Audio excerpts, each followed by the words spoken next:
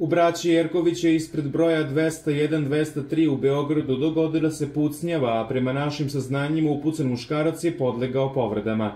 Kako prenose pojedini mediji, preminuje je Vedran Repčić, 41, koji ima krivični dosije, već i jednom 2016. bio na meti napadača, ali je tada preživeo. Tada su na njega pucali ispred ulaza u kom živi, na oko 500 metara od mesta gde je danas ubijen.